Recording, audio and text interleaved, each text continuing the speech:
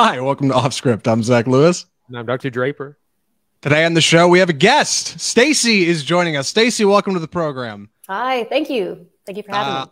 I met Stacy when we went and saw The Northman with Andy and a few other friends opening night. Uh, Andy turned out so much better than the rest of us. He came all Nor- Northman out. Oh, that, oh Uh, yeah, I forgot. I, I yeah, it was in, great. Uh, Viking uh, makeup, um, Mm, which Your really eyes drives my. were piercing. Every time we looked at you, it's just like you were staring through my soul. you had a big scar like Geralt from The Witcher. Like it was good stuff, man. Yeah, I was I was impressed. It was a lot of fun. it, it's too bad we can't all know crack crack makeup designers, huh? Like we can't we can't all we That's can't all have cool people in our life. But anyway, Stacy came out and joined us. Stacy, how do you and Andy know each other? How'd you get tangled up with the great Dr. Draper? Uh, I think it's mutual friends, mainly through Ninfa, but also through uh, Michelle. So I think the origins are an old Reddit group uh, through Dallas, and that's how I made a lot of Oh, friends. Um, I was say, Nin- old Ninfa's Reddit been on the show before as well. That's Net Ninfa has been on the show. That's true. She- great guest, friend of the show. Well, thanks for joining us. So you're going to hang out and talk with us about the Northman a little bit. Uh, we need to talk about with CinemaCon that happened over the weekend, and some exciting some exciting announcements coming out of there. Uh, we're going to talk about the unbearable weight of massive talent, the Nicolas Cage picture starring Nick Cage. And before we get to all that, we need to get to the news. And if you're watching on Facebook, you probably saw a little bit of it. But first things first, Wait, wait, wait. the box office. Yeah, go ahead. Go Sorry. ahead. Sorry. Uh, I I need What'd I to mention wrong? last week we went to a screening of Scream with uh, Matthew Lillard Oh and Skeet Ulrich yeah. uh, in Yeah, that's right. Yes, uh, you did do that. Do you want to talk about that now, or like somewhere in the? I'll like, just do you? I'll just do real Okay. quick. Uh, Yeah, It was cr- it was insane. Like Texas Theater has never been so full. It was completely packed. Uh, they did some Q and A before the before the screening and after, and they were really great with the fans, and people were just like going wild. And it was it was an insane screening because like I couldn't hear the movie half the time because everyone was like quoting along or like yelling when different things happened. Like it was like the wildest fan screening uh, I've ever seen. How big was your group that you went with? Uh, it was just four of us, Okay, and they did Q and A after the film, I guess. both before and after.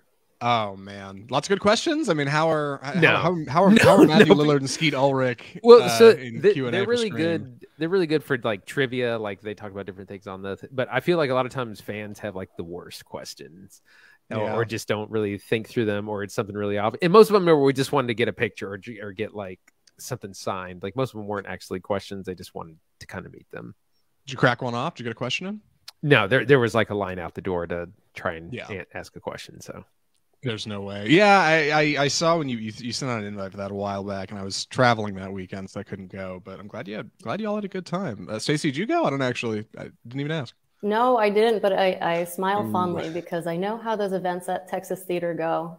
Uh, especially, you know, Tuesday night trash when people are just Oh God.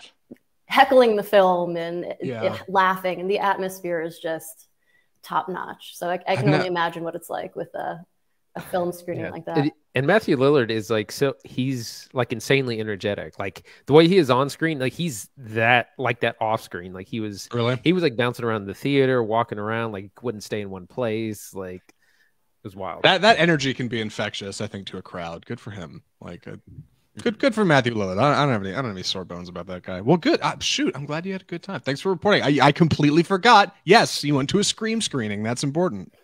Uh, also, we got to get to the news. Uh, in our first bit of news, uh, the the box office is doing some exciting things this weekend. Uh, Bad Guys. The children's film is doing surprisingly well. Meanwhile, Liam Neeson's got a new movie out. Andy, we do a movie podcast. I didn't know Liam Neeson had a new movie out. What is this? Uh, it- it's called Memory, and uh, it's it's another one in the long line of Liam Neeson uh, retired action films, uh, retiree action films, because he's like in his sixties now, still doing these action Yeah. films. Uh, in this one, he he's like uh, an assassin or something, but he he has dementia or Alzheimer's, so he's like starting to forget like who he's supposed to kill, or it's something like that. It, it has to do with being an assassin who's losing his That's memory. right. I think I saw a trailer for that at some point. Yeah, I- Terrible premise. Is this is is this the death knell for Liam Neeson's action movie star career? I, mean, I Absolutely don't, I don't think it needs to be. The guy could just retire out of it. He's like sixty something. And I, I don't know. No, he's gonna keep doing them. He's gonna keep doing them. Sure, he needs like a limited series, right? On like Apple TV Plus, like give him like eight episodes as like I don't know, The Equalizer or some kind of Hitman or whatever. Like the you know the, these these movies as they as they tend to go. Um, meanwhile, our movie Everything Everywhere All at Once is doing surprisingly well, which is surprising. Yeah, it actually it actually had an increase in its box office in its uh, I think it's its third or fourth week, and it had um, I don't know the exact percentage, but it it had a net gain. Uh, yeah, so, so that's continuing to do really good business or have legs for three four weeks now. Yeah, I, I, think it cleared 30 million uh, domestic the other day, which does not seem like a lot, but for A24, that's pretty good. That's that's coming up on its two biggest domestic earners, Lady Bird at like 49 million, and uh, Uncut Gems at like 50 something million. Uncut Gems. Uncut, Uncut Gems. That's right. so, you know, like I, am glad it's doing well. It's a surprise. I, I, I should go. Stacey, have you seen everything everyone wants? No. No, um, I was invited to see that one with okay. the crew, but that was one of my old lady nights. That's fair. You should you should go soon. I'm sure people highly, will do that. Like, oh my god, yeah, yeah, highly recommended. Ringing endorsement from your boys at Off Script. Uh, keep it here on Off Script for more from the box office. We'll keep you posted on what's going on next week. And speaking of upcoming films, uh, the new Fast and Furious movie has a new director because they lost their old director. which is really a bummer for fans of the series. Uh, Justin Lin has exited uh, Fast X only one week into production, leaving Universal losing an estimated million dollars per day from a cast and crew that are just sitting around waiting for a director to show up and tell them what to do. Pretty stunning. Uh, he directed five of these films and kind of was a big part of the reason the Fast and Furious series got back on track from Tokyo Drift. I mean, he uh, kind of introduced the general direction, kind of developed them more into a heist film, and he's worked very closely with the cast and crew up until this film when he suddenly decides he just cannot do it anymore. uh, and why is that? Why is that? Uh, rumors would, would say it's it's because of Vin Diesel, um, because apparently Vin Diesel uh, is showing up to set late. Somehow calls the shot. His lines, yeah, and and he's not showing up uh, in shape is is what the rumored uh, quote is from Lin uh, and is calling the shots on set, uh, and he just can't do it anymore. So, man, any any immediate thoughts on Fast Furious losing their star director?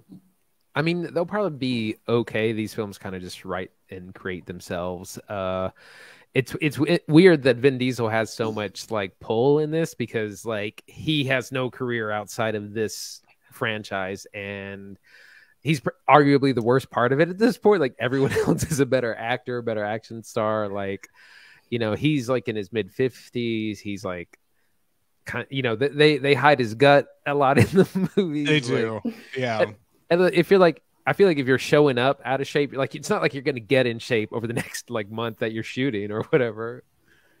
yeah, it's if you if you saw Fast Nine, you you probably had the similar experience that Andy and I had. Um, you know, I, I hadn't seen a few Fast and Furious movies, uh, and then I went and saw that one and was very surprised to see Vin Diesel uh, not turning out his best work, man. Like really, really, really, really different from the first his first few films when he had had a much more youthful and vibrant energy. And yeah, he looks out of shape and he's kind of phoning it in and other actors are just acting circles around him you know? Like every scene feels like he's he's just a board in the middle of the room and uh, it seems like he seems to be the one that's telling people what's what. And it's it's wild to think that this series has ended up in this spot. Obviously it doesn't work with everybody. Dwayne johnson famously left the fast and furious series uh, to make hobbs and shaw which was a spinoff with uh, jason statham but he wanted nothing to do with vin diesel couldn't stand working with him on set. Now justin lin seems to be uh, in a similar camp. Fortunately they have a new director.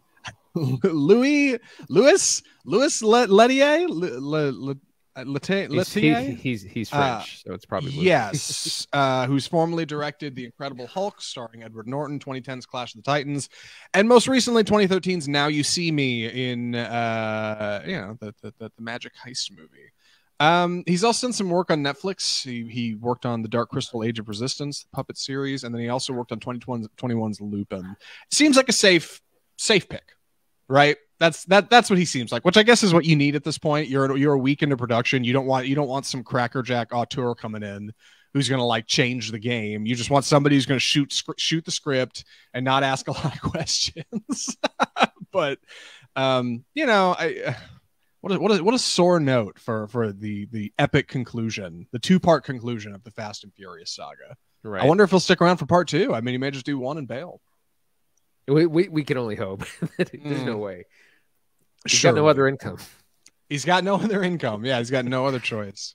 Um, any I I don't know. Any any general thoughts on this one before we move on? I I, I don't have much more to I- say than what I've. I think I'm pretty. Re- I'm ready to move on. I don't know how they're still takes? making these. Uh, honestly, I don't know Yeah. how they're making money. What is the formula here? If not Vin Diesel, I, I don't know. yeah, Well, like, family. They just Family. Uh, well, they make so much money. Uh, they're just wild action movies at this this point, and like they they're dumbly enter- entertaining because of that. They just have really wild action pieces, and they get a lot of these top stars. They're laughably formulaic. Like it's But it's it, it works uh, apparently. Yep, yep. Everybody, everybody can't wait to see CGI Paul Walker roll up just off screen to the family meeting at the end to split a Corona with Vin Diesel uh, at the barbecue. Uh, it's you know more on Fast X as we find out uh, more about the film. I guess for now, apparently they're shooting uh, and they're doing their thing. So hopefully we can see some trailer footage sooner rather than later. We can talk about this exciting film more. Now, speaking of exciting movies, we need to talk about some real cinema here. All right, it's time to it's time to get serious. and talk about a real a real movie. Uh, I don't remember. Oh, Andy, you taking the summary for this one or Unbearable Weight of Massive Talent? I'm going to be honest. I did. Uh, uh, I'll I'll have a go at it. I rehearsed Alright, it at some thank- point. Thank you, God. That gives me some time to work out Unbearable. Hardest part of Uh, the show. I'm very excited to talk about this movie. Stacy's here to talk about this movie. Robert Eggers' newest feature following The Witch and The Lighthouse from 2019. Uh, Andy's going to take the summary on it. Andy, please take it away. The Northman. Uh, so, like Zach said, this is the third movie from director Robert Eggers, best known for uh, The Witch. Uh, this is kind of an epic tale of revenge, uh, starring Alexander Skarsgård as Amleth, the the son of uh, a king, played by Ethan Hawke, um, in a very Hamlet-esque uh, plot. The kingdom is overthrown by the the brother uh, Fjolnir, uh, played by Claes Bang, and uh, he he then sets off on a mission. He escapes. Young Amleth escapes, uh, becomes a, a- like a warrior Viking, comes back to exact revenge on his brother, save his mother, regain the kingdom that was stolen to him. Uh, it's a very kind of epic and classical plot, and so that's our, our general thing of what's going on. Um, and I won't get too much more into into plot deals right now. So we'll start with Zach. What'd you think? Uh, so I wasn't sure what quite to expect from The Northman. I'm a big fan of The Witch, Robert Eggers' first film, and The Lighthouse. I liked even more. Obviously, those are two very different films to this one. Lighthouse is like a four by three black and white picture. Uh, but th- this is a historical thriller, very action oriented, and I figured I'd seen the trailer a million times. I knew I knew it was coming. The trailer kind of feels like it has the whole plot in it, but I was excited to see. So I went in with relatively low expectations, pretty modest and for the most part, I think I was pleased. Uh, I there's a lot more. To, there's a bit more to it than what's shown in the trailer. Thank God. I was I was a little worried. I'd seen that trailer so many times, and, and I was pleased to find that there's a bit more, uh, especially in the action and violence department, which was really really good stuff to see on the big screen, especially with the fun group of folks. Uh, Stacy, what do you think of the Northman? Uh, I came into it with a bit more background because I've been reading into Viking history. Um, so when I found some some murmurings online of this being the definitive Viking movie, that wasn't said by Robert Eggers, but he said, "Hey, if I can take that title, I'll, I'll do it." So I was like, "Well, let me see what's going on here." Did some research into Viking history, Norse mythology. Um, actually, found that the origins of Hamlet are from a Scandinavian story. Um, called Mm. Amleth. So our our main character's name it's a direct tie-in to that uh, that saga that was adapted and then turned into Shakespeare's Hamlet. Um, so I, I started looking for the overlaps, and that's really what I was uh, watching for. And going into it, I was just loved it. I, I looked at some reviews afterwards of people who wanted to see more of the TV series that that they had grown accustomed to a lot of the Hollywood adaptations and um, it, I guess interpretations and appropriations of, of Viking that we all have had hammered into our heads. But this took a different route uh, and really had a lot of uh, historical accuracies and brought to life a lot of the mythology uh, which I thought was a really interesting way to to build this out. That's a very impressive intro. Sorry, I was waiting for Andy to jump in. Oh, but, yeah. oh my gosh, you came you. You came in with hot trivia. You did your research, and it's very synced. Well done, Stacy. I'm like, okay, you're you're gonna get invited back on the show. Andy, what'd you think of the Northland? Uh, so I thought a lot of this worked really well, and then some of it less so. Uh, I think one of the things Robert Eggers does the, the best is setting. Um, in The Witch, obviously the, this old New England tale, um, very great, good setting, but as well as the lighthouse. I mean, they actually built a, a lighthouse for them to make this movie, and they they researched all this like 1890s uh, wiki slang, and they use those lenses from from the 30s to to recreate like the image. Um, and so he does that again here, where where we're really taken into the world. Remind me a lot of Braveheart, even though Braveheart's very historically inaccurate um but but of like really putting you in that setting like the makeup the the costuming like there's there's lots of little like villages that they had to build and and create and they're like dirty and everyone's got mud on them and so that much the setting is really good and that helps really bring you into the the picture. I wanted a little bit more of like kind of character development or like themes and things like that but it's not really that kind of movie and i keep comparing this to like a lot of classics of antiquity things like the iliad the odyssey oedipus rex where you have like hero villain fate gods monsters these different kinds of just archetypes and that's what this feels like. Feels like a modern day myth Yeah, I think uh, Stacy's immediate comparison to the works of Hamlet are pretty spot on, especially if you've seen the trailer, right? You've heard that line over and over and over again. I will avenge you, father. I will save you. I will kill you, for whatever. Kill you, and will save you, mother. Here I am flubbing it, talking about how easy it is to remember. But uh, fortunately, like the plot does feel a lot like a stage play. And in the same way, like it holds its characters kind of at arm's length. It's it's almost like they're on stage just out of reach. You never really get inside folks' head and heads, and they're pretty basic you don't expect your your your your Viking warriors to be all that thoughtful, and they're not. And like in a way, that's that's kind of cool because it makes it feel really authentic. Um, our our lead Alexander Skarsgård plays Amleth, uh, the prince, and he is not dumb, but he's very he's very like dedicated to He's his cause. he's a hammer Like this man, looking yeah, for a he's- nail he's- he's got one job and it's revenge time baby like that's what's going on and i like that the movie sets that sets that kind of right up from the front. Like they your your first act rolls through pretty quick and before you know it you're you're into the revenge plot of the story. As, as you could expect from the trailer it gives it away pretty quickly. Um and i like that. And i like that it really stays focused on it and doesn't really waste a lot of time with b plots or c plots. It's pretty dedicated to hey there's this guy who's headed north to do some do some dirty work. That's what's going on. Uh, and and I I I like I like that commitment to vision. That's a very Eggers thing. I, I do wish that they gave a little more of the interim, what happened between young Amleth and then all of a sudden this like big, muscular, full grown man Amleth. Like, I would have loved to seen a little bit more about his interactions as he's becoming a man. Um, but to your to your point about you know he's not dumb, but you know he he's really sticking to the story. I kind of love that because um, Amleth it, uh, at the root of it means fool. Um, so it's kind of like he's not dumb, but he's a fool of passion, right? He thinks he's doing the right thing by uh, having this family duty and, and avenging his father. Um, meanwhile, he, before that, like forgets about it for years, becomes this uh, berserker Viking warrior, and he's committing murder, but in his mind, that's like justified good murder, whereas the murder that took out his father is like bad murder. Um, so there, there's all of these things. Like he, he's actually a, a cunning, smart character, but at the same time, he does all these foolish things. And the most direct uh, scene that he does it is when he's a, slave over in uh, in Iceland with uh, Fjolnir.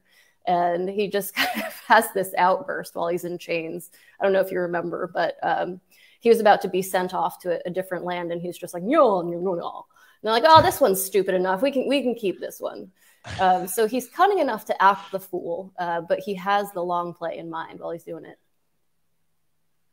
Uh, that kind of reminds me of a, a couple of plot points that I think are important. Uh, first of all, this movie kind of feels like Acts one and two are kind of swapped. Usually, Act two is when you have a lot of action um, and kind of fun and games. In this one, it's almost the opposite, where Act One is like pedal to the metal. There's just like battle and fighting and lots going on, all all at once. And then Act Two actually slows down, and in kind of I, I think what um, kind of upsets expectations.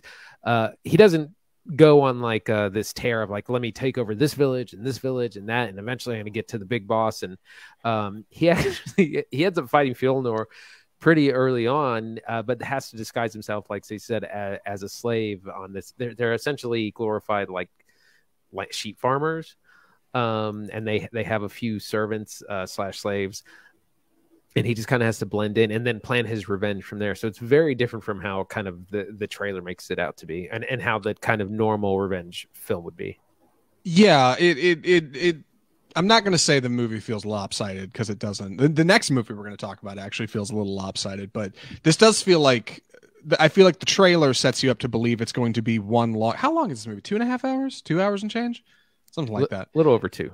It makes it feel like it's going to be one long epic of a quest of a journey to make it from wherever Amleth is as an adult to where his uncle is to save him. He's rowing a boat and he's climbing a mountain believe it or not, like that actually happens pretty quickly, and then the next half of it is a bit more grounded. Yeah, it's it's mostly takes place at this property, at this location, at this farmland, at this kind of what village or township or whatever it is they've got. Um, and you're getting most of your adventuring around there. So it's not so much like Fellowship of the Ring as it is like I don't know, two, two towers. That that's a horrible, horrible metaphor. But regarding like him being a Viking berserker and and and kind of the general moving of towns to towns. There's an awful lot of violence in this movie, and uh, it's pretty it's pretty visceral. It's already rated for sure. Um, and I, I thought it was interesting how this movie can be so brutalistic, and it, it's got a really interesting angle on who's who violence is being committed upon in the movie whether that be men or women or children or old people like uh, it, it kind of shies away from some of some of the darker parts of being a viking and amleth has has a unique rule set for himself. He's like well i'd never heard a woman and it's like okay all right. Like, people squirming in their seats listening to this like i don't know buddy you're a viking. But i can appreciate that eggers tries tries to walk that line. Like i think it keeps your character simple and characters being simple doesn't doesn't a bad movie make. You can have a really good movie with like pretty simple individuals, uh, and and I think this movie handles that well. Let's talk about our cast. Mm, yeah, where do you want to start? I guess probably our lead. Uh, we'll we'll re- read off the big names. Uh, Alexander Skarsgård, uh, Nicole Kidman plays uh, the Queen Gudrun. Uh, Ethan Hawke is the king. Anya Taylor Joy, who shows about halfway through the film, is also kind of in this enslaved uh, situation, uh, plays Olga. And then we have some very small roles by Will, Willem Dafoe and Bjork, who is the first film she's been in in like 20 years or Bjork or something. um, I, I thought really good performances all around. Of course, Alexander Skarsgård has got a he kind of holds everything and you know had to get super ripped for the role. Does a whole lot of grunting. Like there's so much like ah, oh dude. ah, throughout like the whole film. Like they must have gotten hoarse. Um, he was holding everything in his traps the whole time. He's yeah. carrying the weight of the yeah. Um but but good performances all uh all around. Uh stacy what do you think? Uh completely agree. I was completely taken in by alexander skarsgård. I can't believe the transformation that he made for the movie. I was like oh, I didn't know he looked like that under his clothes. Fascinating. Um, I absolutely love Anya Taylor Joy. I think she's just such a beautiful, delicate character. And to see her in uh, a role where she has those beautiful, delicate characteristics, but she's also this sorceress, right? At the end, you see she can summon the, the wind. And uh, in the, the scene where they're slaves in the, on the sheep farm, she's able to summon the earth and get these mushrooms. Um, so I think that's this beautiful balance of like the delicate, but also really powerful. Like you wouldn't want to cross this woman. Um, yeah, I, I, was really hoping she'd be in the film a little bit more than she is.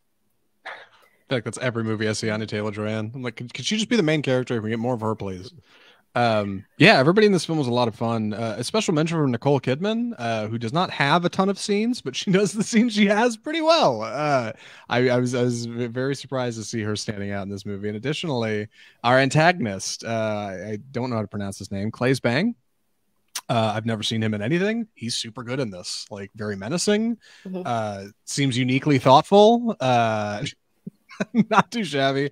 Ethan Hawke's cutting it up. Willem Dafoe's cutting it up. They're having a good time. They, they know what movie they're in, and and I'm and uh, yeah, Will, yeah. Willem Dafoe is is this uh, jester like character called uh, uh Heimir the Fool. Um, and he he only has a couple of scenes, and uh, it's a shame because he's he's great. He's fantastic. Um, I read um, somewhere they filmed more with him, and then the studio had him cutting it for time or something. They were like, "Hey, get through this first act a little faster." And it's a shame because I could to- totally could use more Willem Dafoe. Like he does not does not hurt the scenes at all. I he was one of my favorite. He's just he comes off as so manic, and even in in his name, uh, the fool is used. But you can see in his rhetoric and some of the things that he says, and even uh, in the, the, the spell that he leads uh, Amleth and his father through. He's very intelligent. He has a lot of power, and yet he's this jester. Um, so again, there's just kind of that contrasting theme that keeps popping up throughout the uh, the movie that I really love. Mm-hmm. Uh, a quick question for y'all, since we're starting to wrap this up. I think. Uh, you, you know, I, I read somewhere that this an early review of the Northman said that it's it sure feels like Rob, uh, Robert Eggers' movie, but it, but if he had two hundred million dollars to spend instead of like twenty million or whatever he said spend on his last two films. Uh, what do you guys think of that? Because because in in a way I think that's true. It definitely feels like it's it's more Robert Eggers with a way bigger budget, but uniquely I think he it feels smaller somehow i think than 200 200 million dollars like it doesn't it doesn't feel like godzilla versus kong it feels very epic and grand but intimate and like, I don't think that's easy to do. Yeah, I, I do feel that he this is a much bigger budget. I think it was 40, 50 million, something like that. Um, his other films were much smaller, of course. I, I do feel like he played it a little safe. Um, you know, what I love about his other two films are kind of the themes and characters that he develops, which is very like deep and philosophical and there's a lot going on and i feel like he just played a little bit closer to the surface with this one wanted to be sure to get like you know the action scenes are great and like the setting and the viking stuff uh so I, I, feel like he kind of is holding back on the script a little bit on this one, and so I'd like to see something that's kind of a better balance between things like The Witch and The Lighthouse and this. Yeah, I think it's. I, have got to say, I, I don't know how much of the budget went into the uh, the magic scenes. I kind of wish some of that was more unseen, uh, you know, with like the Tree of Life and and uh, some of that stuff. Um, but I I like that it has this simplistic flow, and in some cases, there's like a single camera and it's just a long shot, um, as opposed to having multiple cameras and multiple points of view of what's happening. Um, again, it kind of just takes you to a different place where people are a lot of folks in the reviews that I've seen are going and expecting a certain formula. And he's intentionally breaking that. And in a lot of cases, making this more of an introspective type of thing, again, playing on that Amleth, Hamlet uh, type of, of, nod to, to the past. Um, but I like it. it. it. was something that I wasn't expecting. Uh, there's a lot of things I wasn't expecting that movie. You know, speaking of Nicole Kidman, her scene um, but I maybe I'm just biased because I enjoyed it a lot. I I don't know how he spent that much on the budget. Maybe it was travel budget uh, or keeping Anya Taylor Joy's feet warm between you know takes where she was barefoot the entire time. Uh, but I thought it was a well put together. Yeah, I, I felt the same way. Uh, a lot of fun, surprisingly grim. Uh, the Northman. Everybody ready for final reviews? Any other thoughts before uh, recommendations? I'm ready. I'm ready. I think I'm ready. All right. Uh, let's start with Andy. Would you recommend The Northman? Yeah, I would. Uh, it was a lot of fun. Uh, great action, good setting. It uh, Rod, I keep want to say Roger Eggers. Robert Eggers uh, is one of kind of the current exciting new directors of the last five years. Uh, so you definitely want to catch this. Great performances all around. A little simplistic in the plot uh, for me, but overall, really enjoyed it. Stacey? I would say whether or not I recommend this really depends on what type of movie you like. If you are more in the camp of um, Fast and the Furious and you really just want something that's hard hitting, easy to digest, really formulaic, if you're expecting something from the TV shows of a similar nature, this might not be for you. Uh, but if you are into serious cinema, if you liked The Witch, um, 100% go see this. It's so much fun. Uh, if you're into uh, history and literature, you're a bit of a nerd like I am, again, go see it because it's a ton of fun and you're going to pick up on all the, uh, the crossovers from, from history and literature as well. Yeah, I think I'm pretty firmly in the same camp. I'd recommend this movie. Uh, I do have trouble figuring out who to recommend it to. It's pretty grisly. Like, you, yeah, it is. you definitely, you definitely got to be ready for that. Like, I don't, I don't know if this is a great date night flick, uh, unless your date is definitely down for a little bloodshed because it happens. Uh, but you know, you need, I don't know, you need something to take your dad to, or like hang out with your friends who are totally down for this stuff, or somebody who wants some good old fashioned lore because there's plenty of it. The Northman doesn't disappoint. It's a lot of fun. Would recommend. I'm so I'm so reckless with my recommendations. I'm like, yeah, everyone totally. Get Everybody, yes, yeah. Take your kids. Everybody should go see the Northman. Post um, yeah. I, I, wanted to add one last thing. So, so yeah. you know, several of us went in Viking full Viking makeup to to the screening, and then afterwards right. w- we went to uh, a restaurant and bar, like still in our our makeup, uh, and had a lot of fun looks uh, that time. Well, good, that good, rocks. Yeah, good time. God, so yeah, the recommendation there is if you're going to see it, go in costume because yeah. it makes it better. Yeah. Mm-hmm. Yeah, please do. Uh, with that, we should move on to our middle segment. Uh, Andy, you want to introduce this for us? It's time for the death of cinema. So we haven't done Death of Cinema in a long time. A lot to catch up on. Uh, two huge pieces of news. Uh, the first of which is that Netflix, on their latest earnings call, announced that they had had a 200,000. They had lost 200,000 subscribers in in the previous quarter, um, which tanked their stock, and they, they anticipated as many as losing two million by the next quarter. So things really shaking up over at Netflix. They're to cut back on a lot of the spending, a lot of the the production stuff, and theaters are overjoyed about this. Um, which brings us to CinemaCon, which was a big ex- exhibition in Las Vegas uh, for theater owners and exhibition exhibitionists, um, where there was lots of new footage and new announcements about uh, upcoming uh, new things. So that's kind of what what we're going to be getting into. Uh, Zach, t- uh, take it away. Oh gosh, a double helping of Death of Cinema. This is what I get for taking last week off. Lots of big things happening at the movies, which is good. I guess we'll start with Netflix, right? We'll start with a little bit of the doom and gloom. Uh, maybe if you're at least a Netflix subscriber, but uh, you know, it's it is what it says in the tin. Uh, Netflix is losing subscribers, which is not great. It's not not not not exactly a known thing to happen for Netflix. Typically, they gain subscribers, so them taking a dip is not good. And it seems like their immediate response to this also is not very uh, oh yeah consumer friendly. Yeah, uh, uh, since since this kind of happened, CEO Reed Hastings has been saying that they're looking at uh, limiting password sharing on the platform to increase revenue. So you can't we won't be able to share passwords as easily between households, family members, friends, even. And then additionally, uh, they're looking at oh god, what was the other practice they're going to do? I forget. Ad ad supported ads, yeah. Ads, yes, ads. That's right. Thanks, gang. Uh, ad supported yeah, tier looking at adding an ad supported tier, which is not something Netflix has ever done, but they think that that might be something that some consumers would be interested in so they can make a little bit more money. I don't think anybody likes either of those ideas. I think everybody dislikes those. Yeah, that, uh, what do you guys think? That's not the issue. So they lost subscribers, but other services gained uh, subscribers. I think HBO Max gained two or three million. I was reading, so it's not necessarily streaming burnout as as much as theater owners wish it was. Um, mostly, it's just the most of the content is just trash. like I'm at a point where I will not even watch a Netflix trailer because I'm like, oh, that's probably mediocre. I don't even bother with it anymore.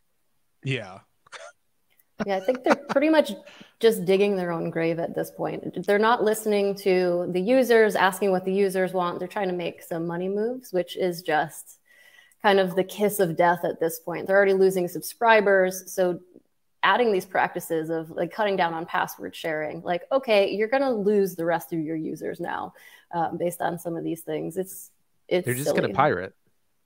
Yeah. yeah. They don't netflix doesn't seem to have a very what's the best way to say this? I, I think they have a content forward strategy right? They want to constantly put, be putting out new content new series new movies new tv shows uh, for their audiences to consume but they don't seem to believe in investing in the ones they already have and they don't do a good job of promoting anything over anything else. Like it's just kind of a wash on the site. You think of like hbo and they have their like star series. They have their stuff up front that's going to be popular. Think of apple tv plus they've got the same thing Hulu kind of does it not super well.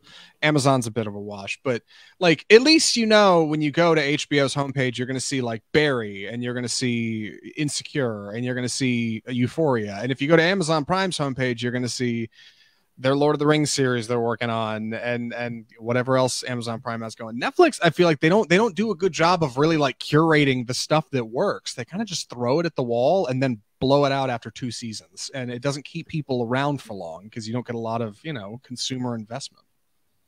Yeah, I was I was listening to a, a different podcast uh, where they were talking about this exact thing and they were saying things like AMC has, you know, five five six seasons of breaking bad or they're on season six of better call saul and so they do a better job of really investing in, in a property and in a brand really going for it and netflix is just like churn and burn yeah and it takes a long time to get around on stuff too like we just got a trailer for season four of stranger things Didn't stranger things start like eight years ago like what's yeah. taking so long um you know, I, I, I, don't I don't know. I, I think I think there's more Netflix could be doing on the content side, and maybe they're trying to work that out. But yeah, announcements of we're going to add ads and stop letting you share passwords is not not helping the cause. You know, Netflix is is quickly approaching the streaming chopping block. For me, they're probably right behind Hulu, like of and maybe maybe even worse than Hulu. I might I might lose them first if I got to cut one. I, I don't know. At least Hulu has a, a good true crime selection. I, I keep them around for that right now. Yeah, like Hulu's got some decent picks on there. I, I don't mind them. Uh, Netflix is just a bit of a, a bit all over the place. Yeah, it's mediocre, mm. I think. But hey, they have Jackass 4.5 coming on May 20th, so that's exciting. yeah, tune into Netflix for Jackass 4.5. God, how much do they have to pay to get that away from Paramount? Right? Like, I'm sure that's a chunk of change because uh, that's where that should be, Paramount Plus. But you know, whatever. Maybe it's a hard sell. I think. yeah, uh, and you're right, Andy. Like it, it is, it, they are uniquely positioned because they are one of a handful of services uh, that seems to be doing poorly when others are doing well. So hopefully they'll uh, shape up. But meanwhile, CinemaCon happened, and a lot of people are excited about that. I'm going to be honest. I was in a, I was in a state with not a lot of internet, and I'd missed a lot of these announcements. I'm hoping Andy can can can refresh my memory. Right. The, there was a ton, and they, they showed like uh, there were some premieres. There was they premiered some trailers. Some of these hit the internet. Most of it has not. It's been kept very private. Uh, but some of the big announcements, uh, the sequel to the 2009 James Cameron vehicle Avatar was announced. Uh, it's called Avatar: The Way of Wa- Water, and it's coming uh, December 16th. Um, and if you don't know, it's the first of four announced sequels. So some they really believe in this. Um, they've also you know like built avatar world or they're going to build avatar world uh, at the whoever owns it disney.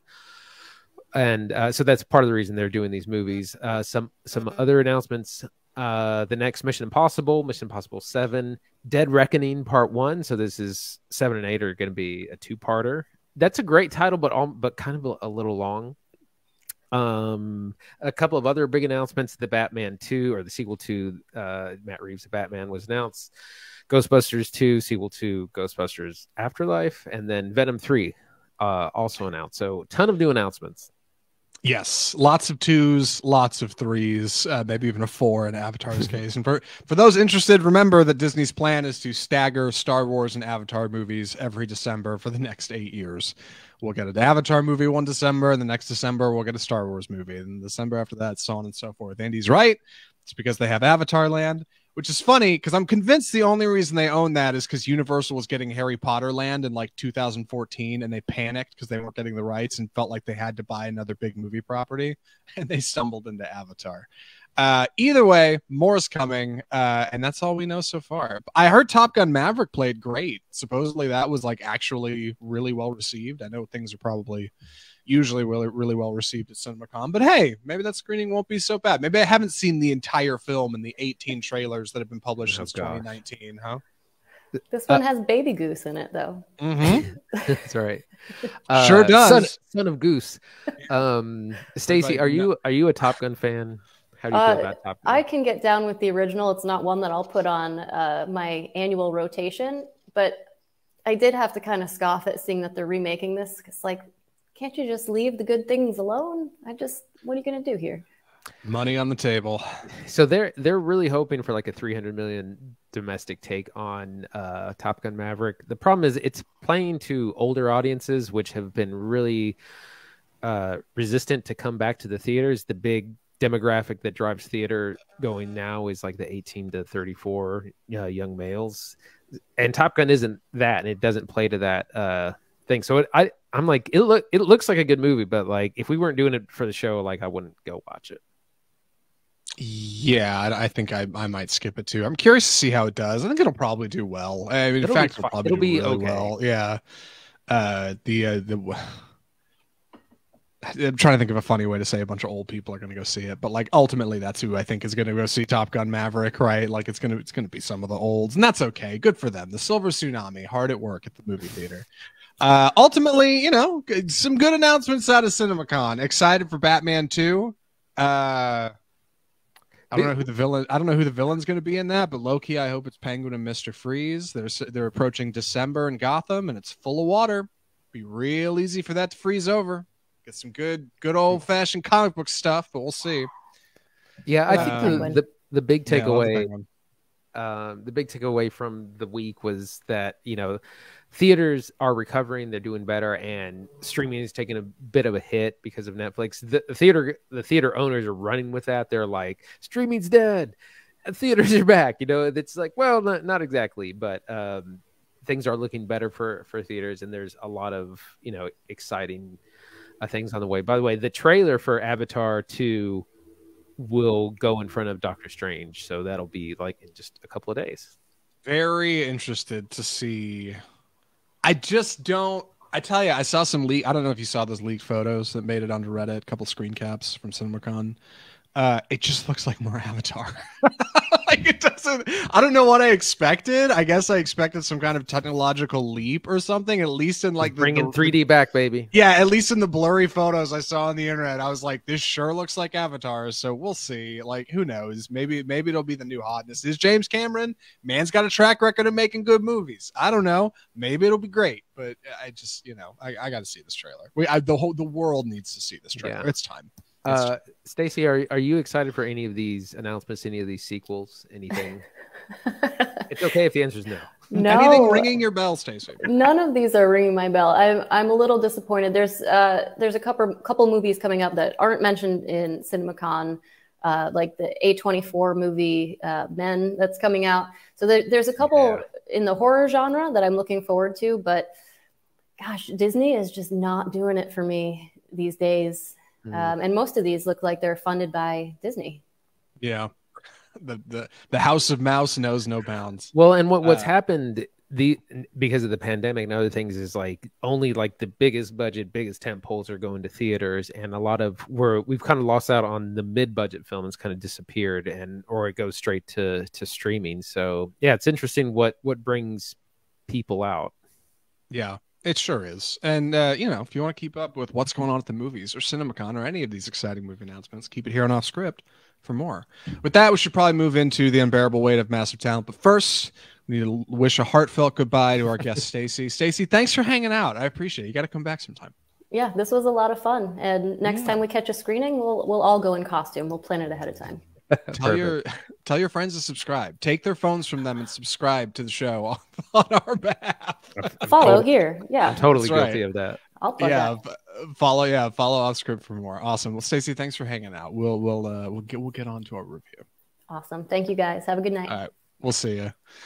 All right, Andy. It's just the two of us. Let's jump into it. I'm going to be taking the summary on this. So please excuse my clumsy delivery. The movie is The Unbearable Weight of Massive Talent So, The Unbearable Weight of Massive Talent is the story of Nick Cage, the legendary actor, or at least kind of a fictionalized version of him. Uh, Nick Cage is reaching a late stage in his career, and he's got a young daughter who's growing up and a wife who's currently getting a divorce from. And uh, he decides that he thinks he might want to take a break from acting for a while. But then he gets an offer to come out to a billionaire's mansion out in the sunny coast of somewhere, uh, Tuscany, I think, uh, where he's paid a million dollars to hang out with Pedro Pascal's character, uh, who is this eccentric billionaire who's a tremendous fan of Nick Cage uh, and and just you know maybe maybe maybe discover a little bit about himself. But upon exiting the plane for this sunny villa, he meets with a CIA op uh, played by Tiffany Haddish, who tells him that Pedro Pascal is not all who he seems to be. And suddenly, Nick Cage is torn between a super fan and a CIA sting operation. Uh, it is an action comedy starring Nicolas Cage. It is in theaters right now. The movie is The Unbearable Weight of Massive Talent. Andy, what'd you think? Uh, so this was all right. Uh, I had a good time. There are a, a, lot of laughs. There's a lot of good in jokes. Um, but it didn't qu- quite go as overboard as I was hoping. Like for for it being about Nick Cage, he wasn't very Nick Cage, which is known for being these kind of over the top performances or these really classic action scenes.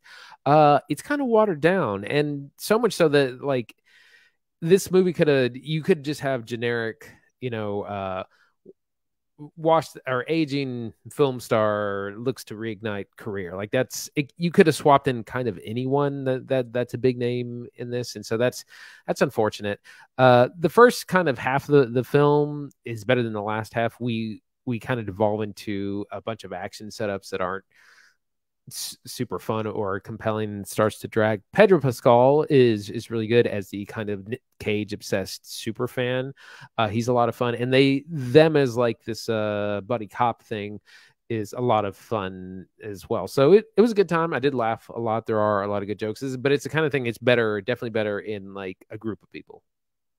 Yeah, the unbearable weight of massive talent is functionally a giant tribute to Nicolas Cage that also stands almost exclusively on his shoulders. Uh, I don't know if this would have worked with another actor or actress. I, I, I, watched it with a buddy, and as we were walking out last night, I said, "Hey, do you think it would have worked with anybody else?" And he was like, "Maybe like a Bruce Willis type, like some kind of action star who's really generic. Maybe you could have." done it that way but nick cage is uniquely the talent that brings people to the theater and keeps them in the seats uh, he's pretty good in this movie uh, he's not quite full on you know wild nick cage you get some good stuff for sure some some glimmers and moments of of of Cage that are solid, and it's good to see him kind of stretching on his comedy chops again. Lately, uh, the, the, two big features I've seen him in are Mandy and Pig, uh, also Color Out of Space, which is all right. Um, so I'm I'm glad to see him getting into a little bit of comedy again because he's good at it. Like Cage, Cage is a good comedy, is a good comic. I think he's got good good sensibilities. Pedro Pascal, additionally, is kind of the super fans, a lot of fun. Uh, he's simple. He's a simple character, and I think Pascal knows it, so he he plays him really solid. And yeah, otherwise, I mean, he, it's a pretty small cast. Otherwise, you don't have a whole lot else going on. That's pretty much where the budget went. Was those two. Yeah, I was gonna say, uh, Pascal. I mean, he kind of he nearly outshines Cage in his own movie uh he's just really solid from from beginning to end yeah uh I, I think the, the the film is like I said during our Northman review, uniquely lopsided. Uh, I think the trailer gives you basically the first half of the film, and then kind of the second half is just kind of this loose run into this kind of action thriller uh, style film with a little bit more going on at the end, and and that stuff kind of uniquely doesn't work. I, I think the best parts of the movie are Nick Cage and Pedro Pascal hanging out.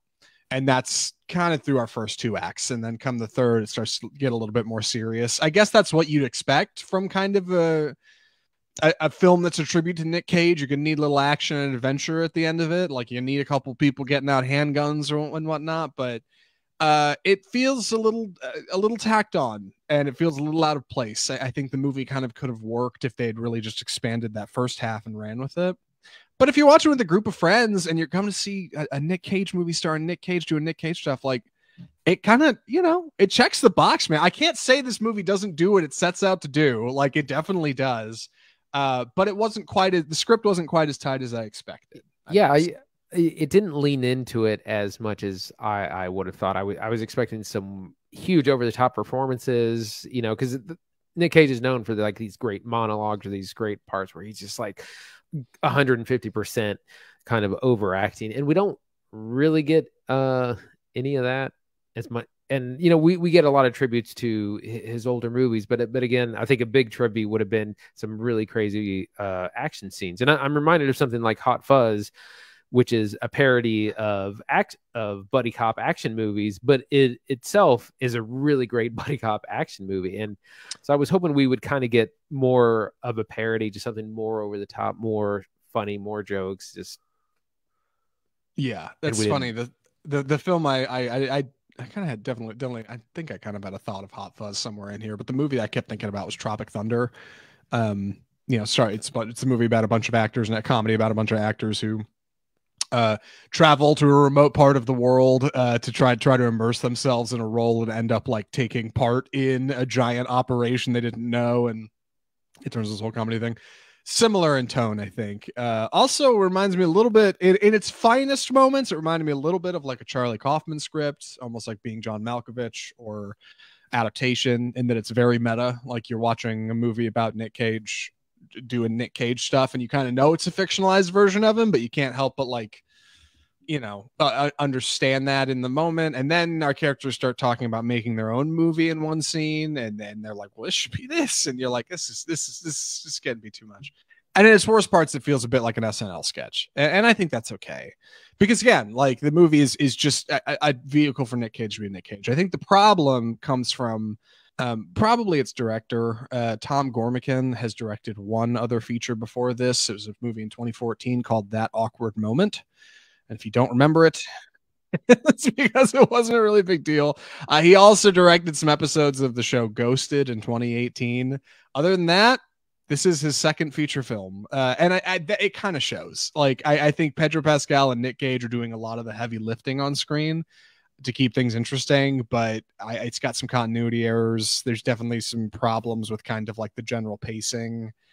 Uh, that's where I think the biggest issue comes from. I, I, think they just were a little limited in every other aspect outside of their spend to get Nick Cage and Pedro Pascal in this movie. Like that's that's kind of yeah yeah. There's, there's also kind of too much going on. There's a little bit of the kitchen sink issue where you know the premise of him coming out to you know, to this guy's birthday party as a super fan and the awkwardness there.